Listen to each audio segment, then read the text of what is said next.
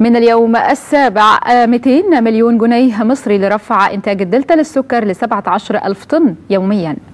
وافق مجلس إدارة شركة الدلتا للسكر التابعة للشركة القابضة للصناعات الغذائية وافق على رفع طاقة مصنع السكر لرفع طاقته من 15 ألف طن بنجر في اليوم إلى 17 ألف طن بنجر في اليوم بتكلفة تصل إلى حوالي 200 مليون جنيه مصري.